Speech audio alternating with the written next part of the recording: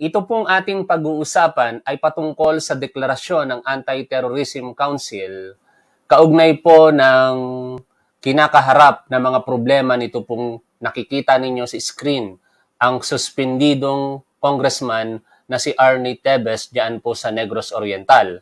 Sa ating pagbabasa sa mga balita, nabasa po natin partikular sa Facebook page po ni Governor Roel De Gamo ang pinaslang noong March 4 kasama po ng siyam na iba pa.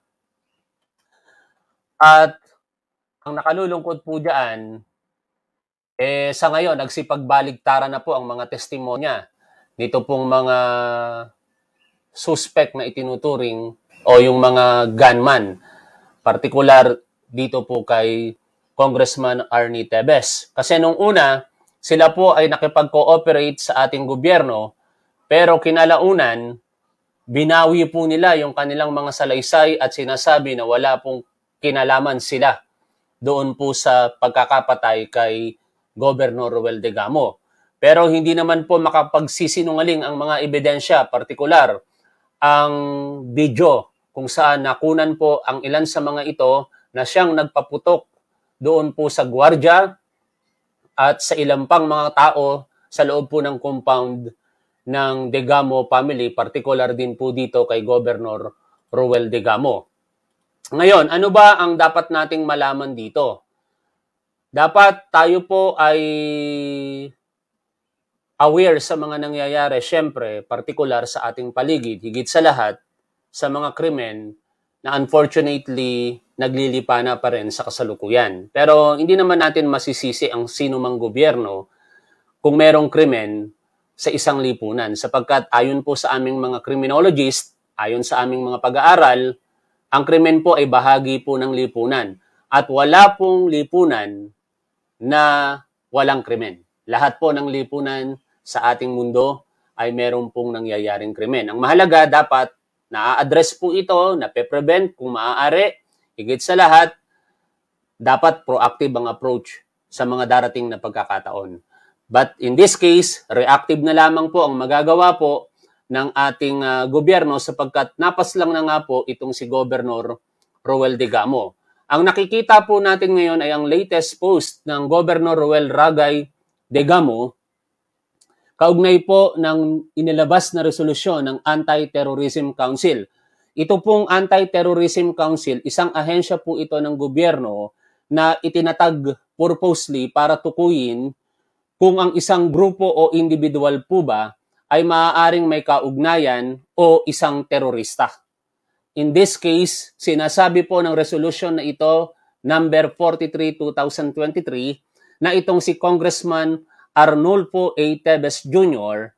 at ang kanyang armed group ay isang teroristang grupo. Basahin po natin ang particulars ng post na ito mula po dito kay Governor Roel De Gamo Facebook page. Resolution number 43 Open Paren 2023, Close Paren by Anti-Terrorism Council, designating Congressman Arnolfo A. Tebes Jr. and his armed group as terrorist group of persons, organizations, or association, and its members as terrorist individual. In particular, kung titingnan po natin ang mga pangalan na iyan ay ito po, Basahin po natin isa-isa ang mga pangalan na dinesignate na terrorist individual ng Anti-Terrorism Council. Now, therefore, the Council, by virtue of the powers vested on the ATC, pursuant to Section 45 of the ATA, and after finding probable cause for violations of Section 4, 6, 10, and 12 of the ATA, hereby designates the Tebes Terrorist Group. TTG ah, TTG po ito. Tebes Terrorist Group as a terrorist group of persons, organization, or association, and the following identified personalities as terrorist individuals. Number one, Congressman Arnulfo Arnie Alipit Tebes Jr. for violations of sections 4, 6, 10, and 12 of the ATA. Pride, Henry A. Tebes for violations of Section 4, Paragraph A, 6, and 12 of the ATA. 3. Marvin H. Miranda for violations of Section 4A, Section 6, 10, and 12 of the ATA. 4.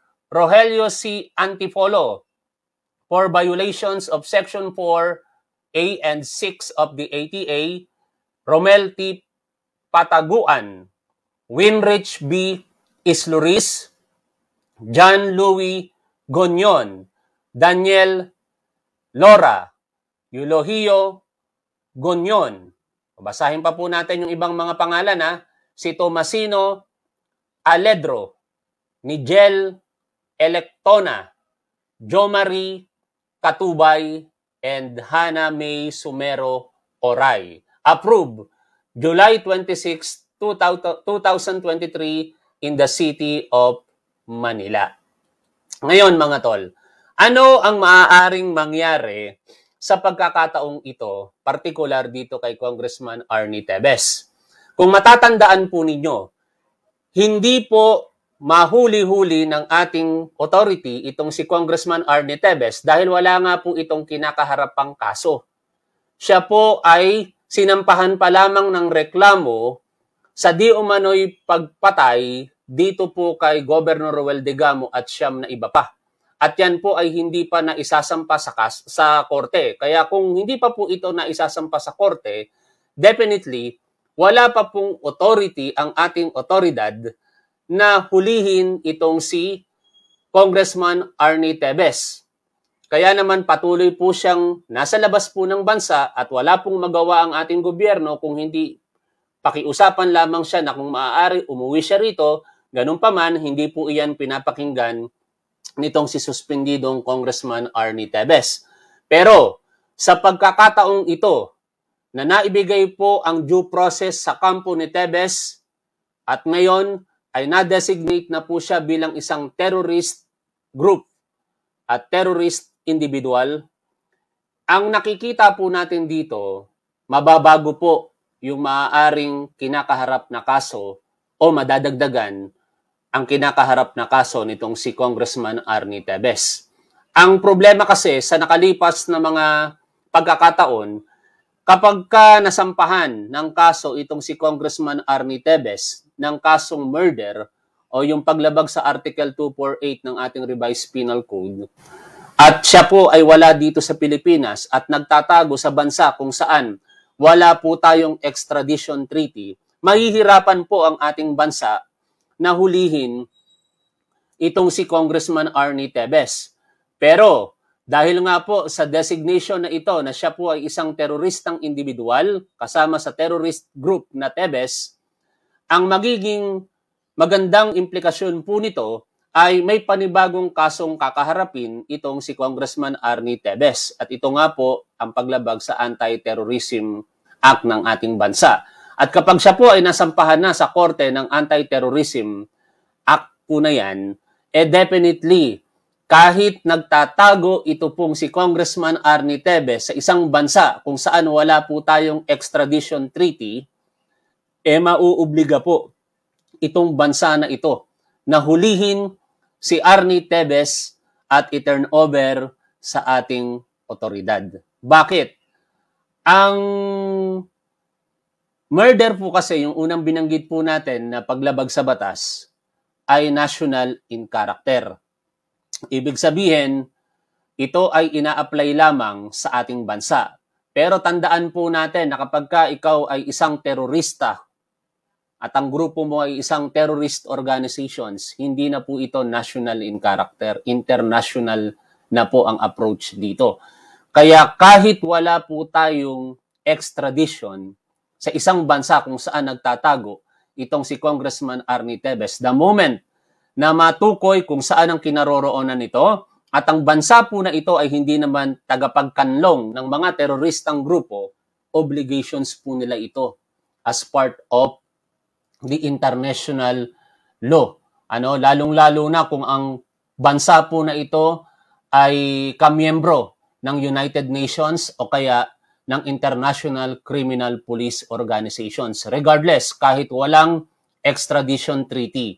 Huhulihin nila, dapat nilang mahuli at i-inform ang ating bansa at i-turn over si Congressman Arnie Tebes sa ating otoridad.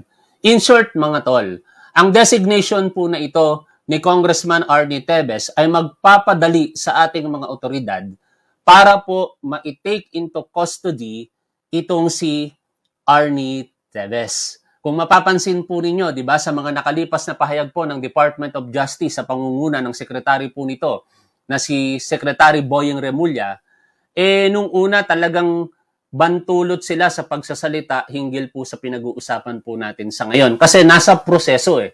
Sinampa po nila iyan sa Court of Appeals, kung hindi ako nagkakamali ah, at doon nga po hiniling nila sa sa Anti-Terrorism Council na madeklara bilang terrorist organizations itong si Congressman Arnie Tebes at ang grupo po nito. Binigyan ng pagkakataon po diyan si Congressman Arnie Tebes na sagutin po iyan, sinagot po iyan ng kanyang kampo, pero ganun pa man, kinakitaan po iyan ng sapat na paniniwala na ang grupo niya at ang taong, kanyang pagkatao na si Congressman Arnie Tebes ay isang terorista.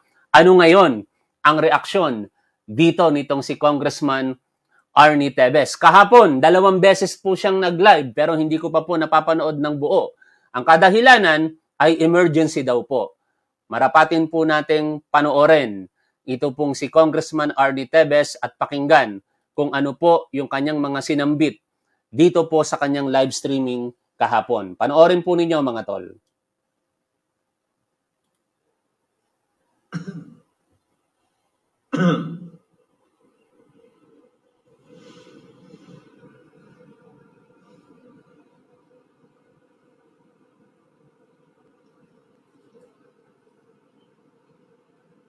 Nakahang si Kong ah.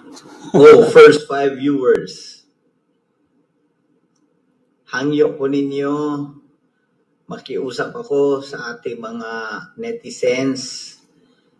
Pakishare tong live na to ngayon din, humingi ako ng tulong, emergency po ito. Oh, paki-share daw po natin. Humihingi siya ng tulong, emergency. O oh, eto, nire-reaction na na po namin ang video ninyo.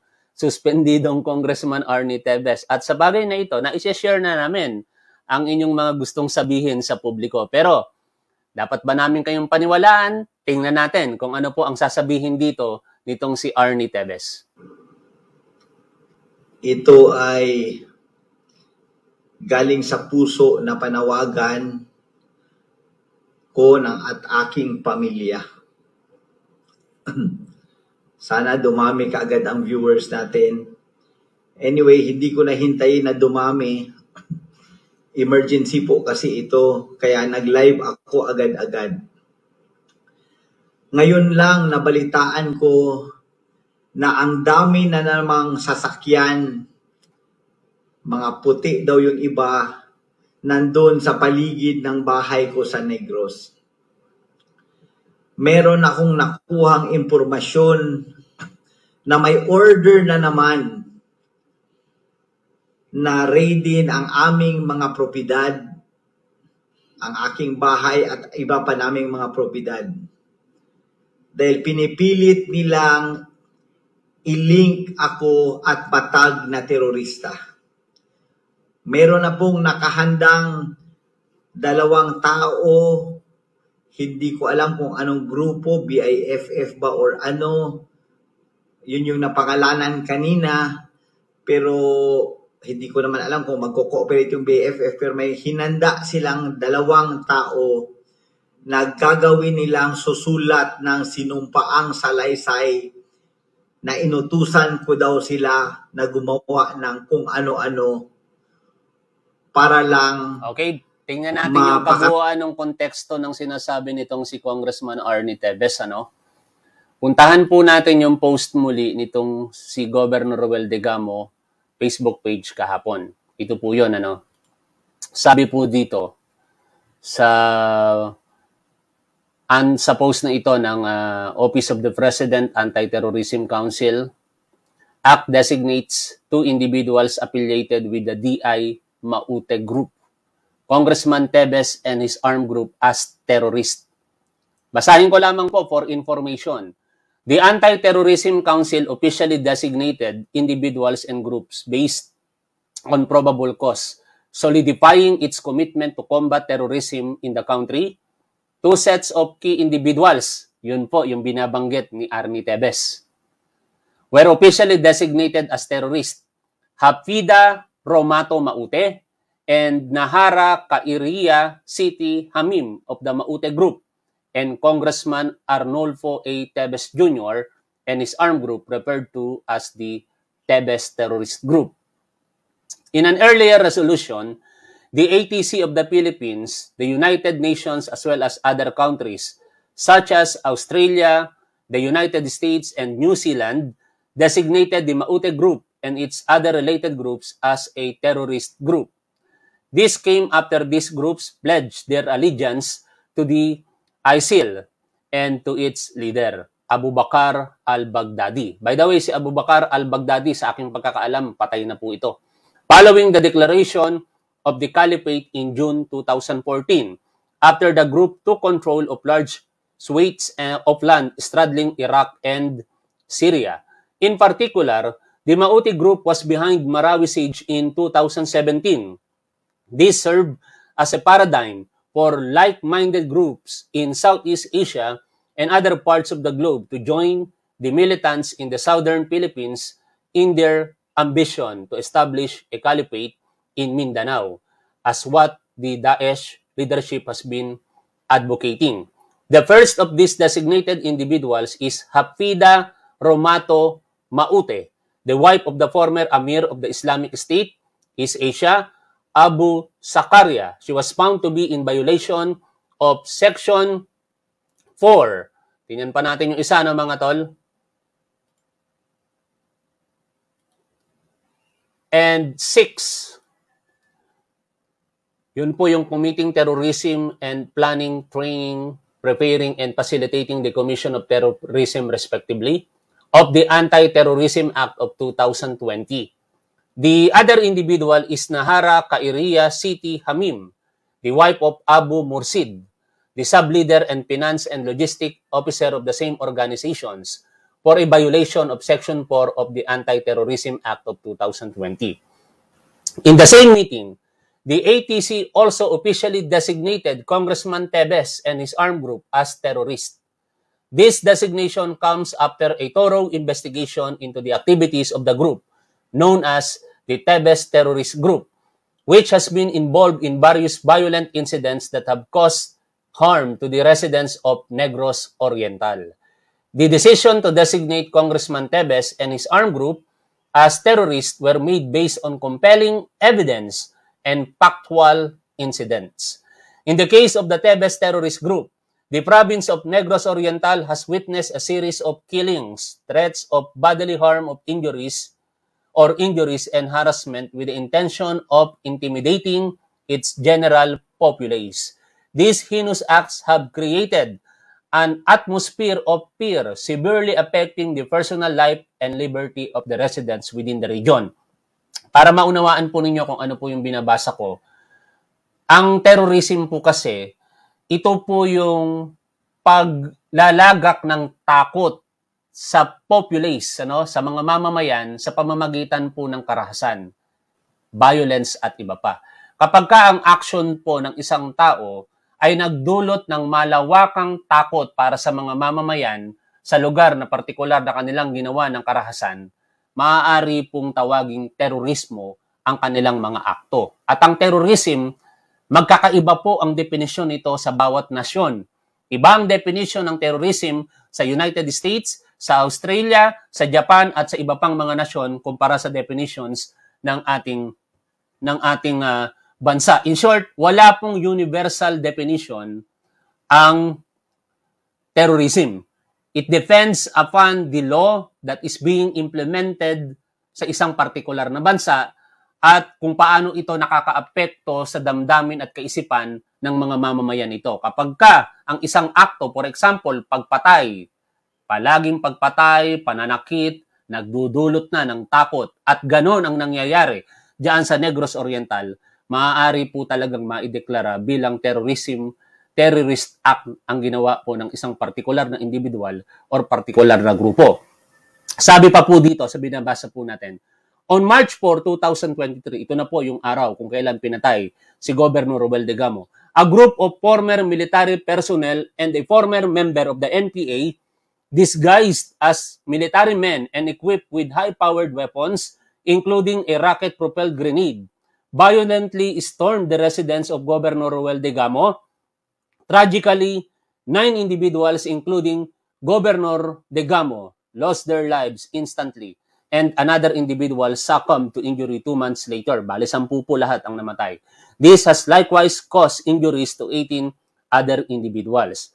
Law enforcement agencies' investigations have uncovered a well-defined organizational structure with a terrorist Tebes group with Congressman Tebes identified as the leader or mastermind. Key members such as Pride Henry Tebes and, tuloy po natin ha,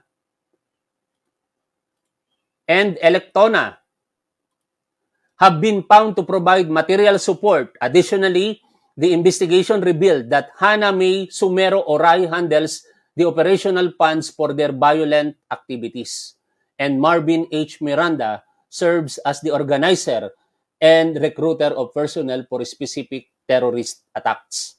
The ATC, after a thorough examination of the evidence presented, has found probable cause to warrant the designation of Congressman Tebes and his armed group as terrorists under Section 4, 6, 10, and 12 of the ATA or Anti-Terrorism Act. These sections cover offenses related to committing terrorism, planning, training, preparing, and facilitating terrorist acts, recruitment, and membership in a terrorist organization as well as providing material support to terrorists. Ngayon, babalik tayo dito po sa pinapanood natin kay Congressman Arnie Tebes.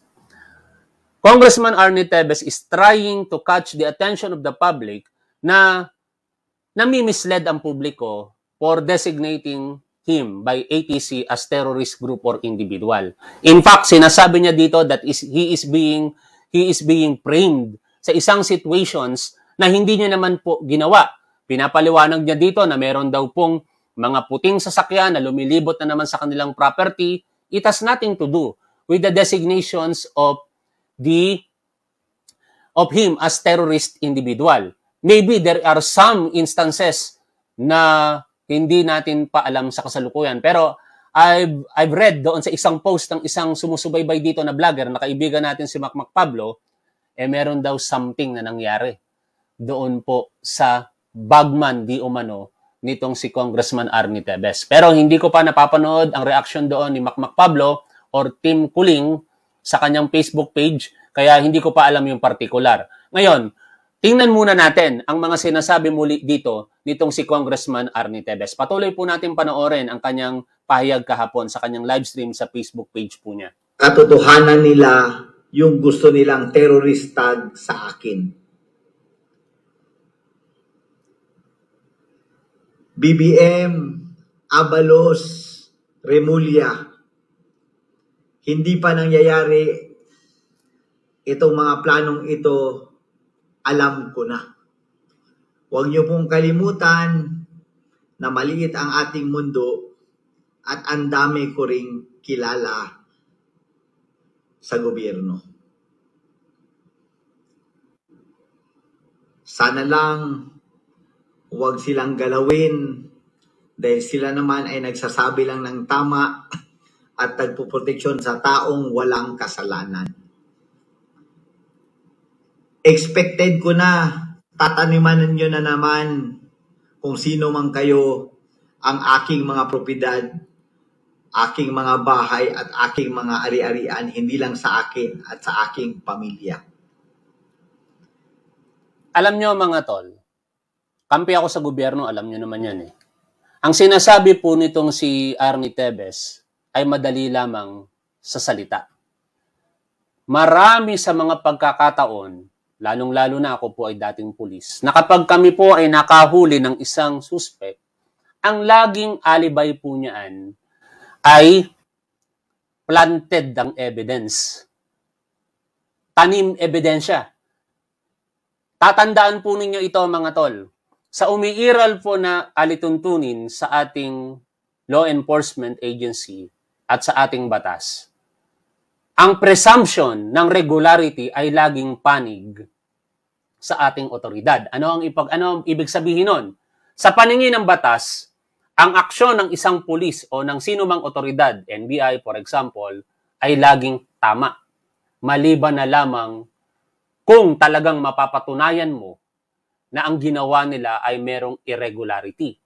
In this case, sinasabi nitong si Congressman Arnie Tebes na tataniman na naman siya o tinaniman siya sa mga nakalipas na panahon ng ebidensya, burden po ng kampo nila na patunayan iyon sa korte.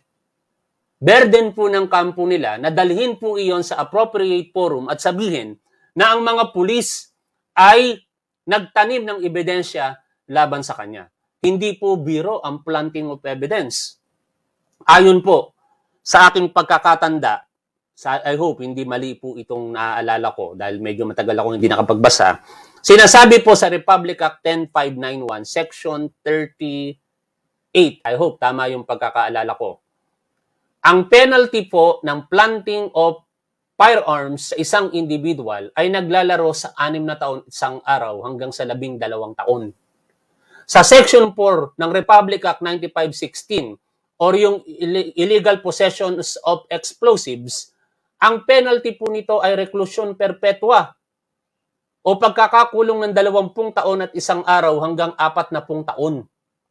Sa tingin po ninyo, i-risk ng isang pulis ang kanyang pagkatao, kanyang hanap buhay, ang kanyang integridad na magtanim ng ebidensya sa isang tao na napakakilala, napakayaman, maraming mga abogado, eh, katangahan po iyon. Kung ikaw ay isang pulis at ikaw ay magtataning ng ebidensya laban sa isang taong katulad ni Congressman Arnie Tebes na ang abogado ay pinamumunuan ni Attorney Ferdinand Topacio, isang kilalang abogado sa lahat ng larangan ng batas at napakaraming kaso na naipanalo na sa mga nakalipas na panahon. Kapag ka ginawa mong taniman ng ebidensya, ang pagkatao o pamilya nitong si Arnie Tebes para kang nagtampo sa bigas. O kaya ang claim nito ngayon ni si Congressman Arnie Tebes na tinataniman siya ng ebidensya, dalhin niya po iyan sa appropriate forum. Korte. At ang korte is blindfolded. Hindi po kumakampi ang korte sa isang partikular na individual kung hindi kung ano ang sinasabi po ng mga ebidensya. Tuloy po nating pakinggan ito pong si Arnie Tebes. Nananawagan ako sa mga netizens, pag nangyari pa ito pag nangyari pa ito na inapakan na naman nila ang karapatan ng isang taong katulad ko, eh, eh parang kailangan na natin tumayo at ilabas ang ating karapatang pangtao na huwag dapat apak-apakan lang. Okay. Ano ang gustong mangyari nitong si Arnie Tebes? Makuha ang simpatiya ng publiko. Kailangan daw tayong tumayo at ang karapatan ay hindi dapat apak-apakan lamang. Unang-una, ang kanyang karapatan ay hindi po inaapak-apakan lamang. Ilang mga abogado ang nagtatanggol dito kay Congressman Arnie Tebes. Ang due process ay ipinagkakaloob sa kanya. The essence of due process is the opportunity to be heard. Pagkakataong madinig ang iyong panig at ibinibigay po iyan sa kanya ng ating gobyerno. Nasaan ang pagmamalabis mula sa ating gobyerno? I believe, wala. Dahil sa mga pagkakataong ito, mga tol, yung due process, ini-enjoy nitong si Congressman Arnie Tebes But anyways, yan naman ay kanyang paniniwala, naghahangad ng simpatiya mula sa publiko, eh kayo na po ang bahalang humusga. Paniniwalaan nyo ba ang sinasabi ni Congressman Arnie Tebes?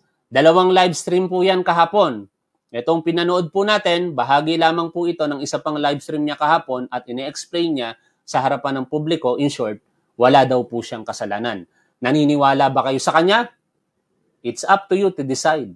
Pero ako, ang paniniwala ko po sa ating gobyerno, sa ating otoridad. Kung ano ang mga sinasabi ng ebidensya, doon po ako naniniwala. Bago po tayo pansamantalang maghiwa-hiwalay mga tol, maraming maraming salamat muli sa inyo.